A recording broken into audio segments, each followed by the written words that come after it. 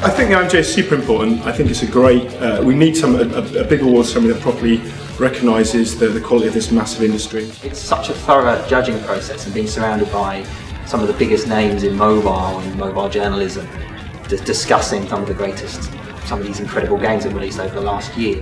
And I think the IMGA can, can help a lot to give really high quality games to the podium that they deserve.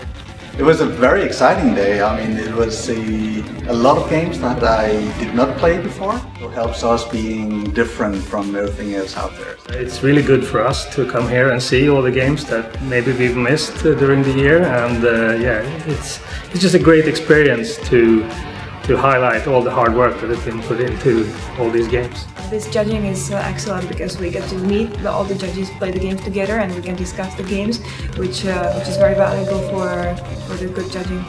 Yeah, IMGA is always good. Always happy to be here, and um, yeah, getting involved in this is really cool.